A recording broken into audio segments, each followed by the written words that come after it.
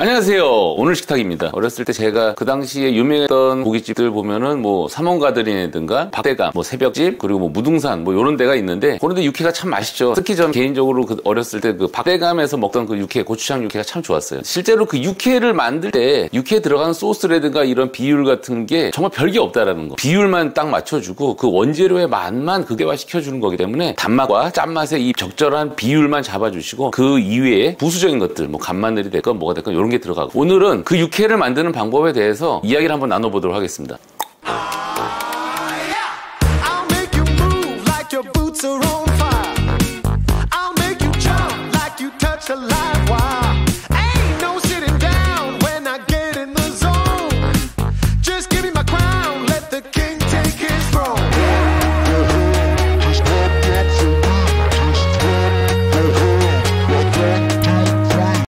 똑같습니다. 똑같습니다. 아까 간장, 간장 하나 들어가지만 고추장 얼마나 들어간다고 그랬죠?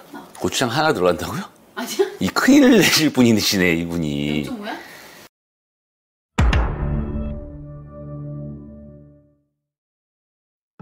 자, 이제 육회에는 두 가지 방법이 있어요. 간장을 베이스로 한 육회와 고추장을 베이스로 하는 육회 그 두 가지를 할 거고요. 오늘 육회는 완전 마스터 하시는 거예요. 육회 양은 저는 오늘 홍두깨를 준비했어요. 홍두깨 150g씩 300g 정도 준비했는데요. 여기서 뭐 예를 들어서 어 나는 200g인데 나는 뭐 130g인데 이런 거 연연하지 마세요. 주요한 비율만 따져가지고 딱 하시면 되는 거고 하나는 간장 육회로 할 거고 하나는 이제 고추장 육회로 진행을 할 겁니다. 그럼 먼저 양념부터 먼저 한번 해보겠습니다. 육회 양념. 자, 먼저 필요한 거는 그냥 보울이랑 이 숟가락, 숟가락만 있으면 돼요. 먼저 간장 육회 양념부터 먼저 말씀드릴게요. 간장 육회 양념의 비율은 항상 그렇지만 되게 간단하죠. 1대1입니다. 간장과 설탕의 비율을 1대1로 해주시면 돼요. 먼저 간장 양념부터 만들어 보겠습니다. 먼저 간장 수저로 하나, 하나 이렇게 들어가 주시면 되고요. 그 다음에 설탕. 설탕은 솔직히 근데 굳이 하나까지 안 넣으셔도 돼요. 저- 저는 한 0.78 정도 넣는데요. 원래는 이제 하나인데 단계 싫으신 분들은 이렇게 조절해 주시면 됩니다. 그 다음에 참기름. 참기름 수저로 하나. 자, 이렇게 되면 다 끝난 거예요, 사실. 다 끝난 거예요. 자, 이렇게 지금 어떻게 들어갔죠? 간장이랑 설탕이랑 참기름이랑 지훈 학생 몇 개씩 들어갔죠? 1대 네. 0.7대 1.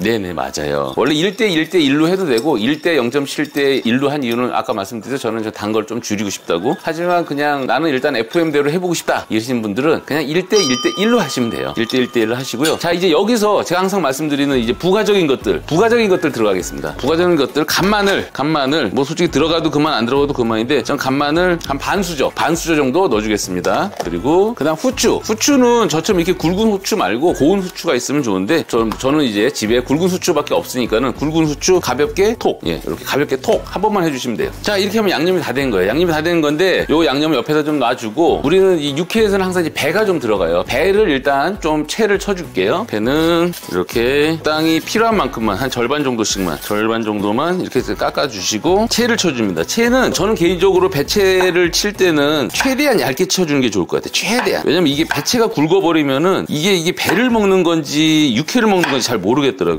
배채는 최대한 얇게 그냥 반 개 정도만 채를 쳐주세요. 이렇게 배채를 준비해서 요 배채 중에서 몇 가닥만 한 뭐 대여섯 가닥만 빼가지고 아주 가늘게 찹을 해주세요. 찹을 찹을 해준 거 요 정도 제가 봤을 때 뭐 숟가락으로 뭐 하나 정도 되겠죠? 그거를 아까 만들어 놓은 양념에 넣어줍니다. 넣어주시고 잘 져주시면은 간장 양념은 끝난 거예요. 여기에다가 육회를 넣어주고 자 여기 있는 양념을 깔끔히 잘 섞어주세요. 잘 섞어주시고 이렇게 해서 한 가닥 맛을 보시면은 어마어마하죠 맛이 어마어마해. 근데 이 육회는 너무 많이 손으로 주물떡주물떡 거리시면 안 돼요. 말 그대로 생으로 먹는 거기 때문에 손에 이게 열이 있잖아요. 그냥 계속 주물떡주물떡 거리면 좀 그렇고요. 요 정도만 해주시면 돼요. 요거는 여기 지훈 학생이 좋아하는 이 접시에다가 담아주시고 그리고 배채도 옆에다가 이렇게 가지런히 놔주시고 뭐 계란을 좋아하시는 분들은 여기다 계란 노른자 같은 거 해서 이렇게 섞어 드시면 좋은데 전, 전 솔직히 그 계란 노른자 그 찍먹이냐 부먹이냐 있는 이 느낌인 것 같아요. 계란 노른자 몽창 발라버리면 솔직히 그 싫어하는 사람들도 있고 만약에 계란 노른자 찍어 먹는 거 좋아하시면 은 노른자 그냥 따로 터트려가지고 육회 이렇게 찍어 드시는 것도 괜찮은 방법인 것 같아요. 마무리로 이제 여기다가 위에다가 통깨만 가볍게 뿌려주시면 끝나요. 자 이렇게 하면은 간장 육회가 바로 이렇게 바로 완성이 되는 겁니다. 자 이거 옆으로 빼놓고요.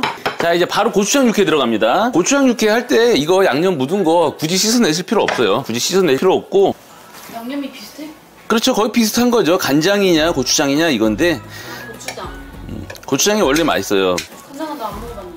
근데 고추장은 약- 약간 텁텁하면서 맛있다고 치면은 간장은 개운하면서 맛있기 때문에 간장 육회냐 고추장 육회냐 이거는 뭐 뭐가 낫다 뭐 틀리다가 아니에요. 그냥 개인적인 취향의 차이인 거고요. 똑같습니다. 아까 간장 간장 하나 들어가지만 고추장 얼마나 들어간다고 그랬죠?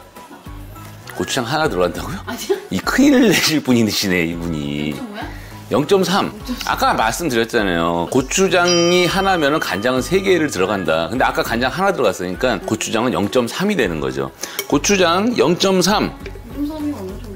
그 0.3이면 지금 지훈 학생처럼 어느 정도야? 이렇게 궁금해 하시는 분들, 이건 너 너무 그 뭐야, 여- 이걸 보면서 이게 0.3일까? 이게 0.5일까? 이러지 마시고, 그냥 대략 이 정도, 대략 이 정도 해주시면 돼요. 4 같은데? 음, 예, 그러면 0.4라고, 4로 하셔도 돼요. 맞아요. 아니, 4 같은 데라고 생각하시면, 아, 그래? 어, 저 사람 지금 내가 봤을 때 0.4 같은데, 그럼 0.4 넣으시면 돼요. 예. 어 큰일 났다. 아니야? 큰일 났다. 그뭐 하고서, 어, 나 0.3에서 큰일 났다. 이거 아니란 말이에요. 예, 예. 그건 버린 거 아니에요. 그냥 이건 대략적인 비율, 비율만 잡으면 되는 거기 때문에 여기에서 뭐 맛이 크게 와짜리가들이 않네요. 제가 말씀드린 대로만 하면은. 자, 요거 숟가락으로 0.3, 고추장 0.3 예, 이렇게 좀 떼주시고요. 그리고 설탕, 설탕 하나. 아까는 저기 한 0.7 정도 넣었지만 그냥 하나 넣을게요. 그냥 하나. 역시 참기름, 참기름 똑같이 하나. 후추 똑같이 다 똑같은 거예요. 가볍게 톡. 간마늘. 나는 마늘 좋아하니까 이렇게 많이 넣는 거예요. 마- 싫어하시는 분들은 그냥 조금 티스푼으로 그냥 하나 정도 넣으시면 돼요. 이 여기에 아까 말씀드렸던 요거 배채, 배 이거 요거 배채 다진 거.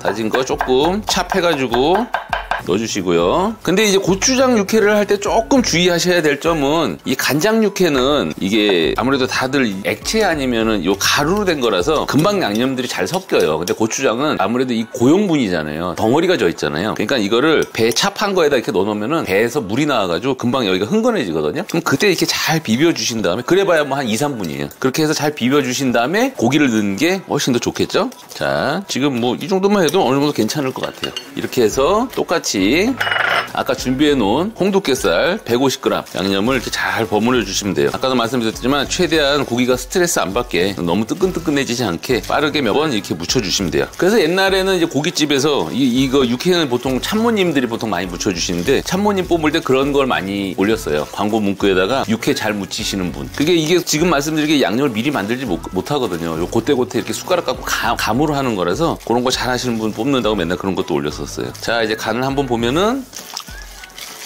음, 아까는 맛이 확연히 틀려요. 조금 간장 육회는 좀 개운함이 좀 중점이라면은 이거는 뭐 나쁘게 얘기하면 텁텁하지만 좋게 얘기하면은 그 고추장의 알쌈과 같이 어우러진다. 뭐 이런 느낌. 이것도 역시 똑같이 접시에 담아볼게요.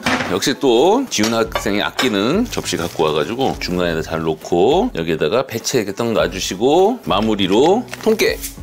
자, 이렇게 다 완성이 됐습니다. 지금 보이시는 것 같이 딱 눈으로도 확, 확인이 되죠? 요거는 이제 간장 육회, 이건 고추장 육회. 간장 육회다 보니까 시간이 지나면 금방 애들이 좀 껌붙해져요. 근데 고추장 육회는 시간이 지나도 뻘글이 아무래도 뻘겋게 돼 있으니까는 양념이 뻘겋게 유지가 되죠. 하지만 개운한 맛이라든가 깔끔한 맛은 간장 육회가 좋다. 하지만은 좀 구수함이라든가 묵직하게 들어온 건 고추장 육회가 좋다. 이렇게 하고요. 다시 한번 마지막으로 양념 정리해드리면은 간장 육회 1대 1대 1이죠. 간장 1, 설탕 1, 참기름 1, 그리고 추가적으로 간 마늘이라든가 후추라든가 어, 배 찹한 거라든가 이런 거만 넣어줘서 잘 버무리면 끝난다. 그리고 고추장 육회, 고추장 육회 비율 뭐라고 그랬죠? 지훈 학생, 고추장 육회 그럼 비율 몇?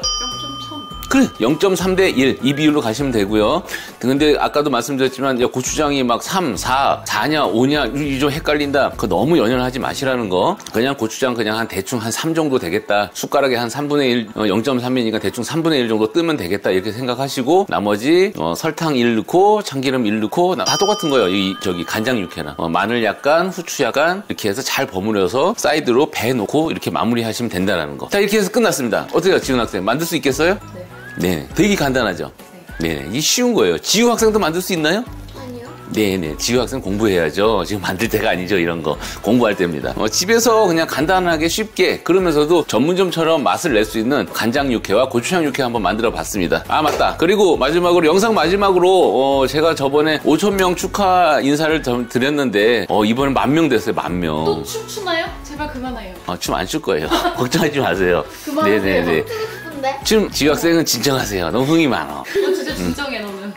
춤을 또 추면은 우리 저기 우리 형님이랑 형 우리 누님들이 이제 지겨워하셔. 이제 저 저 저 저 저놈 새끼 저거 또저 저 저런다 저거 저. 시작이다. 또 시작이다. 그래서 안 하고요. 어, 그냥 감사 인사로만 어, 드리겠습니다. 제가 앞으로도 말씀드렸죠. 초심 잃지 않고 좋은 영상을 계속 보답드릴게요. 영상이 즐겁거나 도움이 되셨다면 구독, 좋아요, 그리고 댓글까지 댓글에다가 편하게 글 남겨주세요. 아 참 그리고 제 댓글에 좀 음식 같은 거 뭐 해달라 이렇게 많이 달아주세요. 제가 다 메모하고 있어요. 그리고 그걸 토대로 해서 투표도 하고 있고요. 근데 제가 아무래도 저 업장에서 제 일도 하면서 이걸 병행하다 보니까는 바로바로 올리지 못하는 점에 대해서는 좀 양해 부탁드리겠습니다. 예, 항상 죄송한 마음이에요. 저도 빨리 하고 싶은데 좀 힘들어요. 예, 그럼 오늘 영상 마치겠습니다. 감사합니다.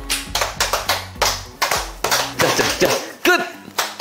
그만. 빨리 밥 먹으러 가자, 이제. 배고프다. 고기 먹으러 가자, 고기.